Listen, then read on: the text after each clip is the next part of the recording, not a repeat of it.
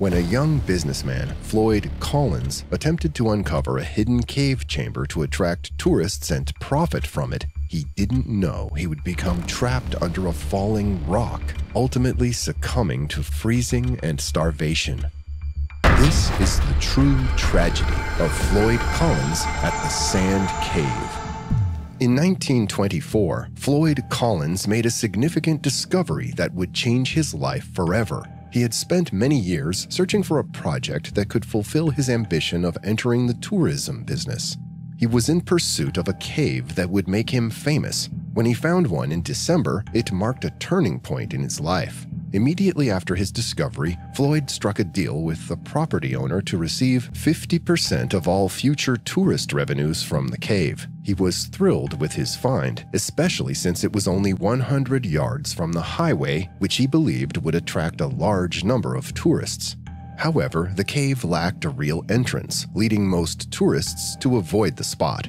Determined to change this, Floyd spent the following weeks laboring for hours each day to dig an entrance for visitors. He was dedicated to widening the passageways and removing several loose rocks. On July 30, 1925, Floyd Collins' work was advancing smoothly. He ventured into the cave once more, hopeful of reaching the main chamber. With a kerosene lantern in hand, he navigated through the darkness and dampness, a familiar environment to him. The lantern's light was crucial for avoiding any missteps that could cause a rock slide. Floyd had become adept at maneuvering through the tight crevices of the tunnel by crawling forward. He arrived at a juncture where most cavers would turn back. The passage ahead was merely a tiny opening nine inches tall, through which even a toddler would struggle to pass. Despite this daunting obstacle, Floyd was convinced that this passage led to the main chamber, the very spot he had been striving to access for weeks. No one had ever ventured beyond this point, but Floyd knew it was his only option if he wanted his business to begin generating income. Floyd decided to lay flat on the ground to minimize his volume as much as possible, propelling himself forward solely with the strength of his feet. He made significant progress until he encountered the walls of the passage, which were lined with sharp gypsum crystals. These crystals clung to his clothing, making his movements nearly impossible. After a period of struggle, nearly getting stuck in that narrow passage, Floyd managed to push through the other side where conditions improved. The space beyond was slightly more spacious, allowing him to move more freely. A little further ahead, Floyd encountered a ledge overlooking a narrow pit. Confident in his ability to navigate through, he remembered the days spent removing small rocks to ease passage. Despite his efforts to clean it up, the passage remained as narrow as a chimney. Starting his descent feet first, Floyd was cautious of sharp rocks along the way.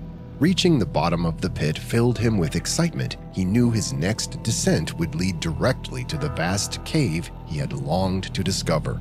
This anticipation fueled his determination as he was on the brink of unveiling the grand discovery he had tirelessly worked towards. Without any hesitation, he secured a rope in place and used it to make the final descent of 80 feet.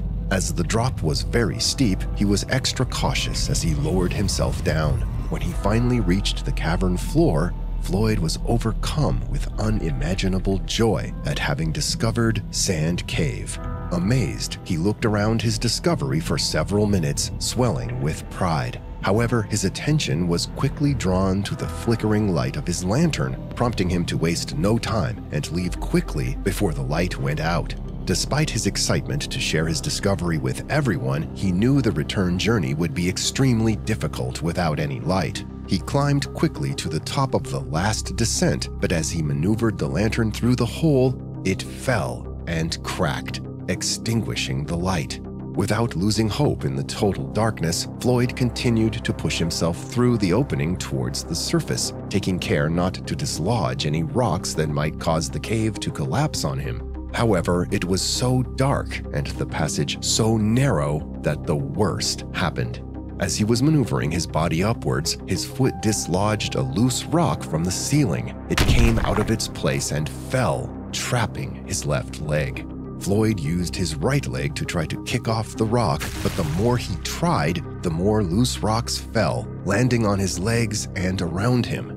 Now, his legs and hands were buried under dust and rocks, and a rock had pushed his head to one side. This was far from a comfortable position. It was only 10 in the morning when he ended up in this predicament, approximately three hours after he had started his journey of exploration. He decided to start screaming for help, hoping that someone would hear him. However, he was far from the entrance, and there was no one nearby because it was cold and snowy outside. The clock was ticking, and nobody seemed to be near the cave.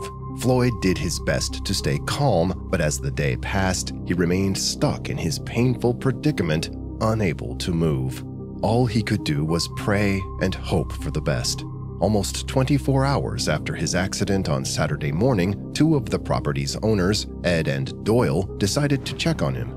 Doyle's son, Jewel, only 17 years old at the time, accompanied them. As they approached the entrance of the cave, they noticed Floyd's coat hanging on the ledge outside. They called out his name, but received no answer. They ventured into the cave as far as they could, but at the first narrow passage, Ed and Doyle had to give up due to their size. However, Jewel, who was more slender, managed to squeeze through the hole and reach Floyd. Jewel noticed that Floyd's entire torso was pinned under heaps of gravel and rock. Floyd, excited to see Jewel, immediately asked him to fetch his brothers to help extricate him from the predicament. By noon, Floyd's brother Marshall and their father Pat arrived at the cave to find a crowd gathered at its entrance, all eager to witness Floyd's rescue. Marshall and another man entered the cave and managed to navigate through the narrow passage. They immediately began to dig and excavate as much debris as possible to widen the tunnel leading down to Floyd. They had to be very careful not to let loose rocks fall down the pit, as Floyd's head was literally at the bottom, already receiving droplets of cold water falling down on his face. Many hours later, Floyd's other brother, Homer, would arrive at the cave to help with the situation. He was very upset because the day before the accident, Floyd asked Homer to go with him to the cave, but he didn't. This anger put him in a very heightened determination to get his brother out of the cave. He made it through the crowd of people, almost 100 at that time, and went down to where Marshall and the others were working. In the cave, he attempted to make his way through the tunnel that no one had been able to access. He started squeezing his way down, ignoring the pain from the cuts on him made by the roughness of the rocky tunnel.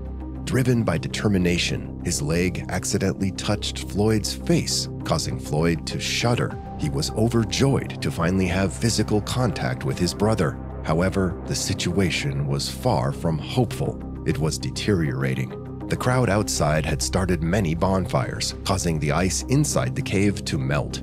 This paradoxically made Floyd colder than before.